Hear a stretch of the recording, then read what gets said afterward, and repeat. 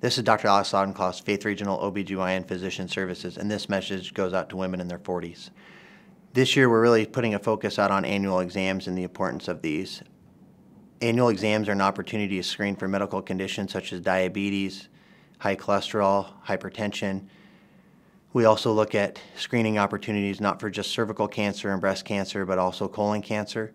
Um, these are opportunities to get in and discuss with us any issues that you may be having with your sex life or urinary incontinence or the leakage of urine, and an opportunity to focus on overall health with any updations and updates and immunizations or um, overall diet and, and weight exercises and osteoporosis prevention.